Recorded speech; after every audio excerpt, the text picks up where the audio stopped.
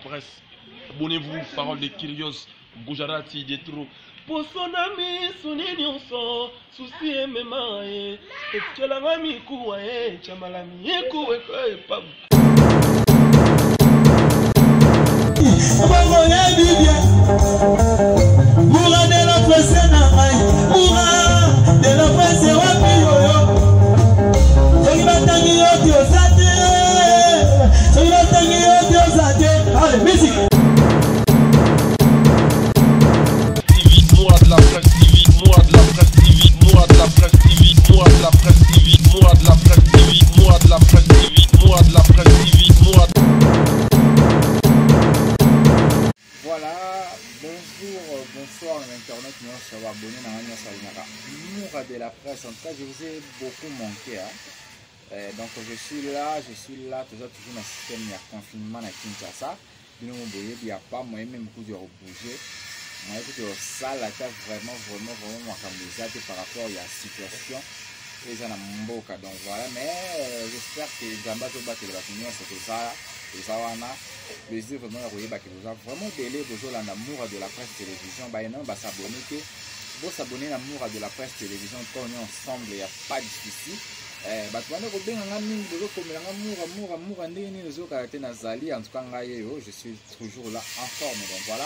je dis merci à Gul Bachenge la puissance ya mavinga à la pétresse merci à Zizi Nale ma maman na Voldi Marie Pauvre Bobette la l'italienne depuis Italie donc merci na bino nyonso bolandaka mura de la presse télévision Horizon Mukuba Horizon Mukuba balobi ya tonga tonga banda sikina euh, donc voilà ya Willy Musheni code mondial mondial encore merci à toi baoba bazola le sénateur musunuka France babi moto asimbi France ye wana donc voilà on est ensemble ya pas de souci wana bayanga euh, donc mpenza so ozoluka mura bayanga mpenza bango wana donc voilà merci na bino ya miriam wete ya bastar nathalie babela sublime hmm, bayanga mpenza tozalaka na bango balobi bientôt déjà tokozala zala zala en forme nzambe akosala makambo oyo ekoleka donc voilà makambo mpena ekoleka nango parce que eza mwa mopepe moko ozo ya kobouge nde te bouge kaka biso moko bato nde te bouge kaka monde mobimba nde te kwesa kaka mokili yango mobimba mais quand même Dieu fait grâce on est là toujours voilà nga moka de la presse na yebisa bino nazalaka un garçon problématique te nazalaka nalukelaka bato problème te nga soki oyoki nga nalobi seke moto alukeli nga donc voilà nga nao naleka na nga moko te nalukela moto problème to nabanda moto nayaka kaka koloba so omoni ngai nalobi seke naye na défendre motu so omoni ngai nalobi na cause na ngai moko seke motu alukeli ngai baproblème yango nalobi donc voilà ngai sikoyo nalingaka bahypocrite te nasalaka hypocrisie te nazalaka mpe hypocrite te ngai jamais nakoki kozala nazwa part motu moko boye pamba kaka boye ani na réseau tani eloko moko te nakotela ye na bana oloba ba n'importe quoi sur motu mosusu jamais no nasala yango nanu mpe nazala corrompu te eh, motu moko aza na raison na ye nazala corrompu mpo na koloba makambo na ye donc voilà no nasala yango te c'est impossible donc voilà nao nasala yango te donc na ngai moko nao boye nazalaka timide na kokoka mambo aloba te donc nasalaka kutu makambo te ke oyo mpo songola aza masa na ngai nakoteli nasala yango te alors ya saki na ngai naleka nao nafingo na télévision te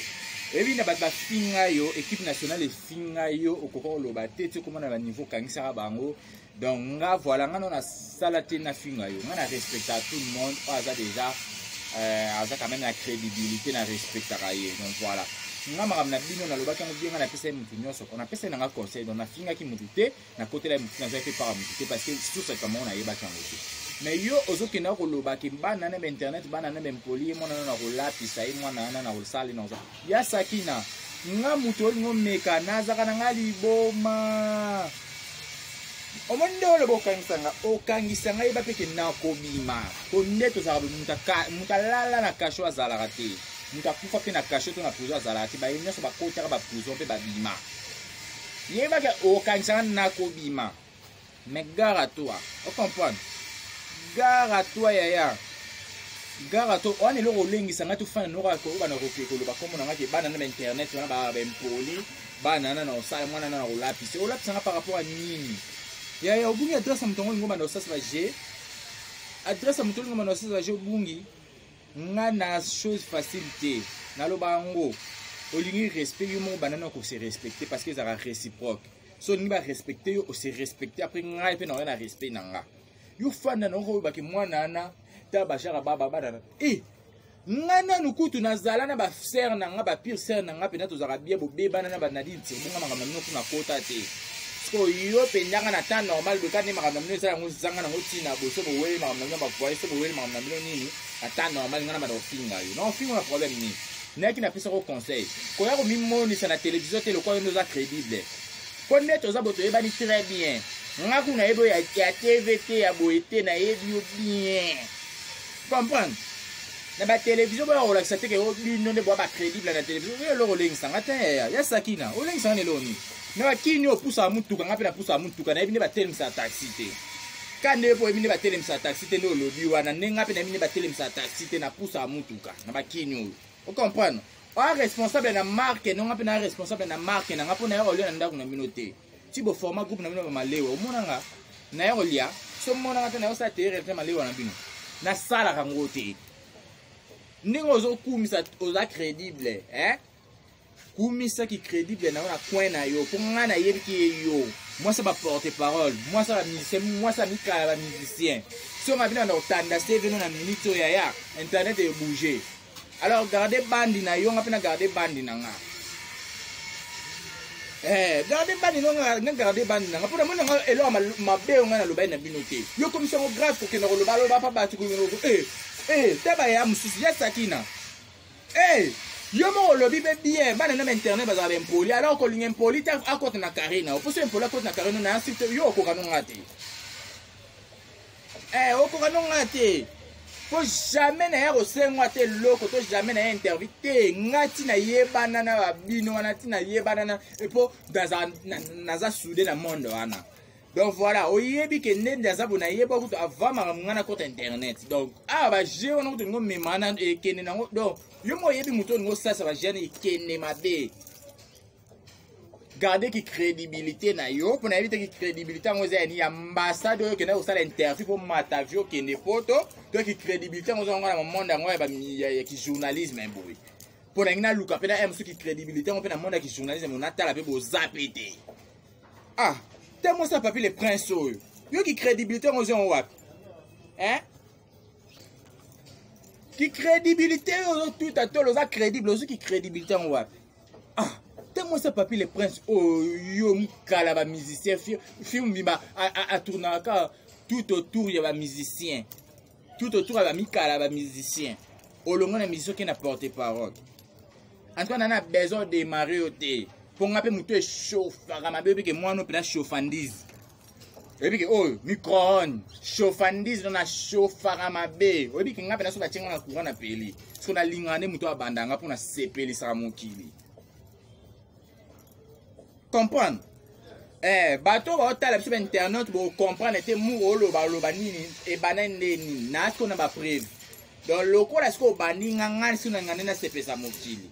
me basiko suite yango ezala nini après avoir kosepesa mokili babi toluka kimia bino booluka na bino bakimia te bootala nde bato bakokufa te bolika baproblème ese ngai nafingaki yo bato batalaki émission na ngai napesaki conseil nafingaki motu yo komisango problème pourquoi ngai nafingaki yo nani ata ofingo te oh oyo boza crédit tu bana otanga ba crédit ba oyo ba kosokwama to tanga no bato basokwama ese yo sokwama to amoya omoni moya kisasa to erni to aso 15 ata moya 15 heure oyo yo olingo banda oluka makambo na heure na moya 15 heure ya kishasa yaya oloswanisa ata bato oyo otiki na 4 saison kuna oyo oluka biso kaka bato ba 2 saison yaya sakina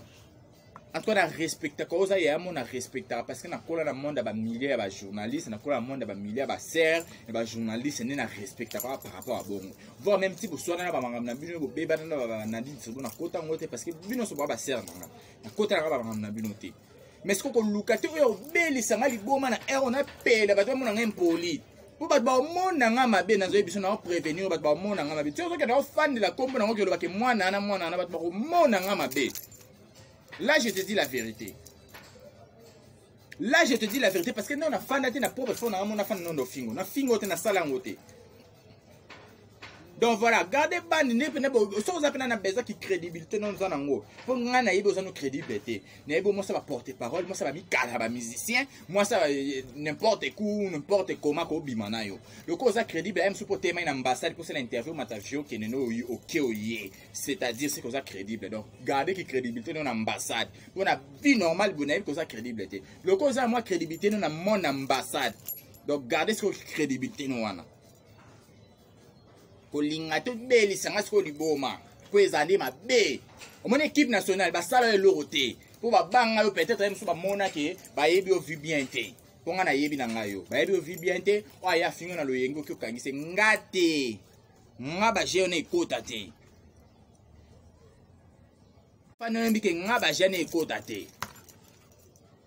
alors moto amta garde position na ye eh, parce que ba celui qui veut la guerre se prépare nga nazalaka nanga pré pré ya tout nazalaka nanga pré pré ya tout so na mi natelemisa bandoki nanga bien charge nazalaka charge nayebi te ofinga nga na nini oza eloko mosusu ofingela nga peut-être okuti ofinga nga te okangisa nga nde mais sikoyo nga na oprevenu yo nga sono mina temisa mandoki yebake naokangama na obima mpo nakangama plusieurs fois na bima donc yeba kokanga a na kini eloko te comprendre eloko te na boni okuti kokota makambo ya miziki nakota nao na makambo ya miziki nadetaye yo naboyi nabeta no fara fara ngai na yo alors ava baverité mosusu ebima ndenge okende ozwa mokala na yo wana ndenge bokokanga kai na kisi mpo bolinga na bala yo ava baverité mosusu ebanda obima se loigne déjà na nkombo na ngai na monoko na yo nkombo na ngai na monoko na yo déjà se loigne nango mpo toyebi bie mokala no azalaka na mwasi na ye okenda kodetruire foye ya bato mpo okeye okanga mbala na kisi ya obala yo alors s'éloigner na nkombo na nga moni naoloba bo avec précision s'éloigne nango ngai nazalaka impoli te bato nyonso bayebi na mankaka motu te soki nalingaka motu apesaka bato respect mpo ozwa amérite mpe respect na nga mpo nde naza bomoto abokola nga aza te moto adika nga aza te donc oyela nga baje te koza mokolo ata osali mabe na respecte te nalia na ndako nete nde oyedika nga te comprendre eh, donc so olingi barespecte yo mi respecte yo moko apre nga na oya na respect na nga parce que respect ezalaka réciproque oza na besoin ya respect se respecter comprendre koyela nga kutu biloko wana ezala te nga okwa na mokolo na manke oyo te omanke nga na eloko te soki oyebi nde bakota na station mpona kosomba carburant nga mpe nayebi nde bakota na station mpona kosomba carburant ozo comprendre soki oyebi nde bafutaka ndako na fin du mois nga mpe nayebi ndenge bafutaka ndako na fin du mois donc oza kolengisa nga eloko te mpo oza eloko olengisa nga ta parki tv namoni te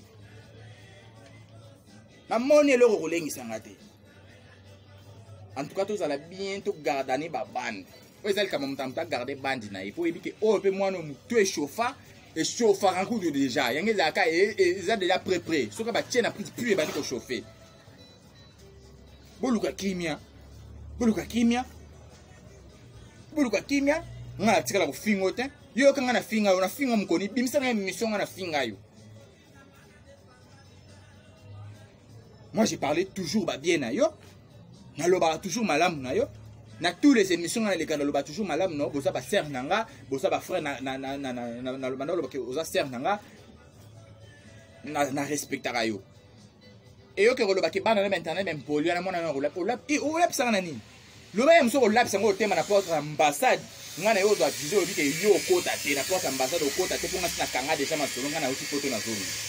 yo okolapisa esi na bakino balapisaka motu okolapisa nga ata ah, ya yo asala soni te nafandi na nga kaka boye baobenga nga yo problème na nga boye bato baobenga nga yango problème nini yo na ya sakina ya sakina olobaloba to na komono e eh, ya sakina na audio na ona nde oswana motu motu wana atindeli nga kolinga nabimisa ngo na internet te nga nazala hypocrite te nalobaka yango je respecte celui qui me respecte C'est ça. Eh.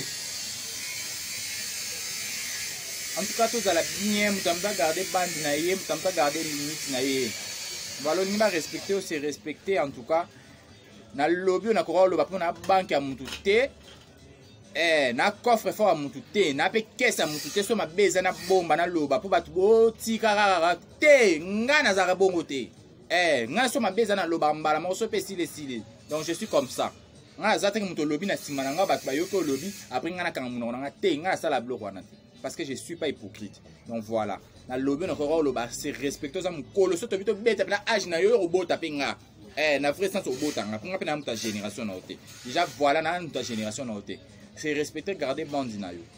nazalaki oyo nazali nango ya koloba yango wana j'espère que oyoki matoi no eyoki en tout cas bafani na ngai nyonso oyo oyo amoniki makambo nalobi eleze ye eza internet etambola bongo internet eza eglise te voilà so moto alinga meka oyo mpenza na bandenge moko mpe fo kota mpe na sentir ke oyo mpe oza mozindo ntango alinga ya omeka olinga omeka motu moko bokomona eh, oyo mpozo ya omeka mozindo awa ah, batiaka kudu mosapi na loyenge te mpo eh, a ah, ezalaka volcan a ah, soso na loyenge okokuta na ngai mona azalaka na nabeta yango episode par episode yo moko otika monoko polele da na bimisolo mwa seva moke oyebi deja mwasi apapele mpo nkolinga na chenelo soko libala wana efanda wana na chenelo place ozwela yango te nabimisa nakolo mobali wana ya mokala na yo wana kolinga okomisa na niveau wana te Merci na bato nyonso balandaki ngai grand merci na bino nyonso bozalaki branché scotché na moura de la presse télévision je vous dis merci beaucoup bosabone encore massivement awa parce que awa bozwaka toujours nyonso ya kitoko donc voilà baye balingaka nga botika opa monika azali d'accord te je m'en fou de toi bon debara eh, ngai nazalaka bongo ngai alengela mutu te oyo bababa oyo te ngai nazalaka hypocrite te je dis ngai azalaka hypocrite te un grand merci na bino nyonso bolingaka moura de la presse bosabone vraiment massivement nalingaka bino mpe kaka nde bolingaka nga merci na basere na nga bapire sere na ngai mpo tozala na bino na bon terme nadine turbo turbo king Eh, la big mama de la presse merci à toi merci na bino nyonso bozalaka ki branche scotche ya wili musheni mon fier code mondial 00243 un grand merci à toi un grand merci na bato nyonso oyo balingaka moka de la presse oyo basutenaka ngai en tout cas soki nzambe azongi te tokutani na bino susu na prochain numéro ya émission na bino télé correction émission corrigeaka basenzi asoza ah, mosenzi okozwa vraie correction donc voilà on se retrouve prochainement bye bye